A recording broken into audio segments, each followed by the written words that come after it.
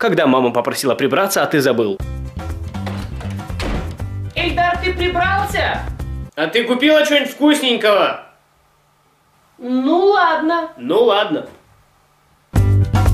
СМО Сервис.ру, пожалуй, лучший сервис накрутки в социальных сетях. Ссылка в описании.